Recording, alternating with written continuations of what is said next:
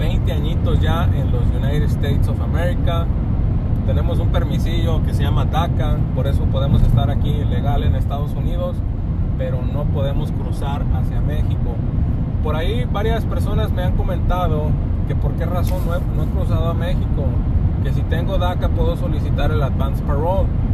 Y una persona me dijo, por favor comparte esta información con tus seguidores. Nosotros queremos saber por qué razón no solicitas el Advance Parole como mucha gente que tiene DACA lo hace. La verdad, no les he contado esta parte, pero ya les haré un video y les contaré cómo estuvo el show. La neta me, me agüité machín, apliqué para DACA y me negaron. No, para Advance Pro. Sí, perdón.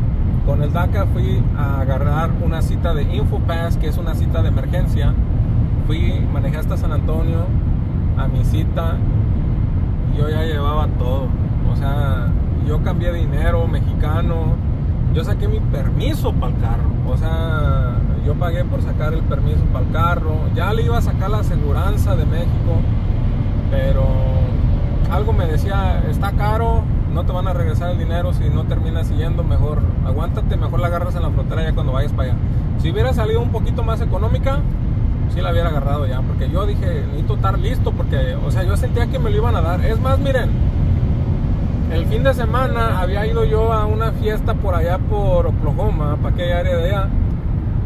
Me regresé ese sábado en la noche hasta mi casa, manejé muchas horas de noche, llegué en la madrugada conocidos me decían aquí quédate, estás loco, ¿cómo vas a bajar? No, es que tengo unos compromisos y me tengo que ir. Entonces yo manejé hasta allá por una boda que me regreso para mi casa. No le dije a nadie, era no no sabía nadie. Nomás la única familia que sabía era mis familiares de México a los cuales estaba sucediendo la emergencia a la cual yo iba a ir, ¿verdad?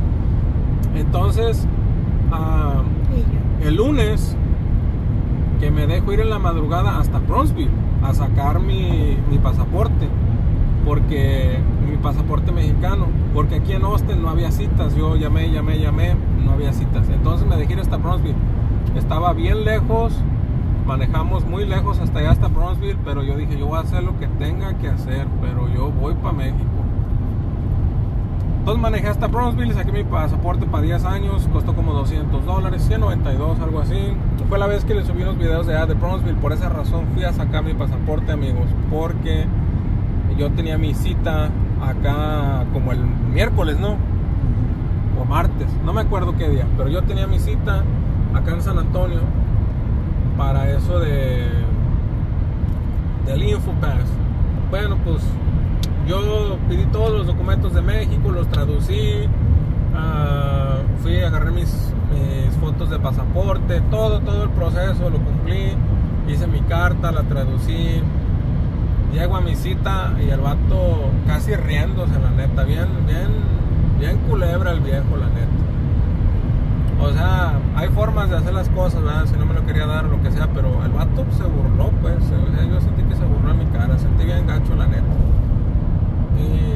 Y, yo dije, no, pues tú no lo miras como una emergencia y tú miras esto así, así, porque no tienes madre, vato. La neta, no tienes madre.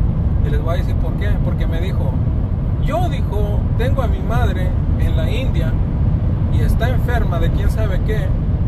Y no voy a visitarla porque yo tengo que trabajar. Pero yo le mando dinero y llamo por videollamada. Y mi madre dice, ya está grande y va a fallecer en cualquier momento y bla, bla, y ni yo voy a verla, dice. ¿Por qué tú tienes que ir a visitarlo allá? Dice, si no es ni tus papás. Y dije yo, wow, vato, le digo, no pensamos igual. Le dije, yo pienso, le digo, que sí deberías de ir a ver a tu madre. Le digo, yo creo que no hay nada más importante, le digo. Si quizás sea la última vez que miras a tu madre, le digo, yo siento que sí deberías de ir a verla. Le digo, realmente le digo, no compartimos los mismos pensamientos. Siento igual que tú. No, dice, pues como sea, dice, no, no hay permiso para ir para allá. Dice, yo no lo miro como una emergencia. Dice, pero igual, lo voy a pasar con mi jefe para que mires. Dice, pero la verdad no te lo va a dar. Le dije, ok, no, pues muchas gracias. No, pues se lo llevó al jefe, regresó y dijo, no, no, esto no califica. No, no, pues por favor, esto, lo otro y así. No, no, no y no. No, pues está bueno, pues. No, pues me fui bien agüitado y bien encabronado porque por la neta se burló de mí el viejo. Y pues no, así se siente gacho la neta. O sea, me, sentí así chiquitito, chiquitito.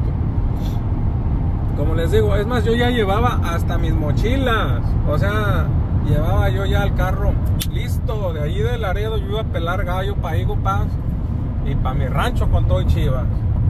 Entonces, mi gente, yo no me quedé a gusto. Yo dije, no, ni madre. Yo voy a llamar otra vez y voy a tramitar otra cita. Porque este vato, la neta, no. No tiene madre el vato, no, no tiene madre. Entonces, dije, ojalá me toque otra persona. Y si me toca el mismo, pues ya valí. Pero como quiera que por mí no quede. Llamé otra vez y les expliqué. Le dije, mire, ¿sabe qué? Quiero, otra, quiero una cita para acá. Y dice, oye, ¿qué pasó? ¿No pudiste ir a tu cita de hoy? No, sí fui. Le dije, pero así le dije, la neta, así como le estoy diciendo, le expliqué a la persona. Le digo, la neta, yo a mí esa persona no se me hace que debería de estar allí dando permisos humanitarios. Cuando él tiene su, su mamá enferma y él mismo me dijo, yo sí puedo ir, pero decido no ir porque tengo que, que trabajar. Digo, yo creo que no hay nada más importante que, que, su mamá, le digo, aunque sea una visita corta, ir y venir. Pero él ha decidido no ir, le digo, ni a ver a su propia mamá, le digo, entonces yo creo que él, le digo, no es una persona que debería de estar ahí decidiendo si dar permisos humanitarios o no.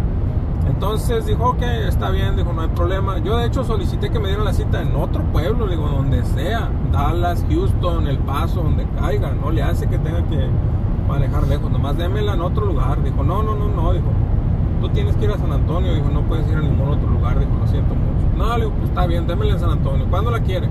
Lo más pronto posible. No, pues ahí me la dio creo que hasta el otro lunes.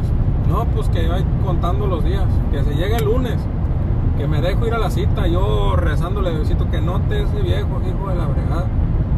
Llego al lugar y que no estaba el viejo, canijo. Dije, se va a ver a su madre de seguro, con la regañada que le puse este viejo le remordió la conciencia y se fue a ver a su mamá.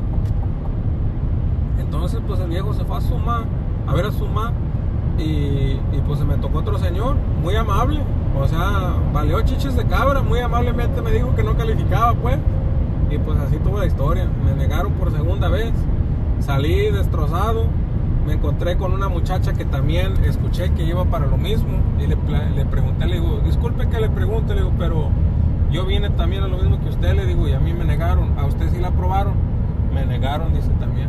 Le digo, ¿de verdad? Dice, sí. Le digo, ¿y por qué? ¿A qué venía usted? No, dice, pues iba a ver, creo que a su abuelito o a su tío enfermo, no sé qué, algo así. Le digo, ¿y se lo negaron? Y dice, sí. Le digo, yo he mirado en el internet que muchas personas sí se lo han dado. Le digo, y dice, yo sé, dice, por eso apliqué, dice, pero aquí no. No, no me lo quisieron dar. Entonces, dije, no, pues valiendo fregada. Y entonces lo mejor, mi gente, si van a aplicar aquí en Texas, eh, las chances son así, bien pequeñitas, de que los aprueben, porque ya escuché que en diferentes situaciones aquí en el estado de Texas no lo aprueban a uno. Entonces mejor mándenlo por correo. Yo lo que voy a hacer la próxima vez que aplique, voy a mandarlo por correo mejor. Ya, ya no voy a ir aquí de emergencia a San Antonio, porque aquí en Texas la neta no. No, pues son, son permisos humanitarios, amigos. O sea, si hay una emergencia humanitaria, o sea, una emergencia familiar, pues para eso son los permisos, ¿no? Y mandándolo por correo a la gente sí se lo dan. O sea, hay mucha gente que ha compartido que sí les dieron el permiso, pero aquí en Texas no. Entonces, a lo mejor no me sentía con el ánimo de contarles, o no sé, no, no había habido el momento, el tiempo. Y pues hoy, ya que estamos aquí con un story time, he decidido contárselos. Por esa razón no he, ido a México, mi gente, porque me, negaron los, permisos de en mis citas de Infopass para la Advance Parole. Y es todo, más nada. Vámonos, bebé. Tuvo corto el viaje.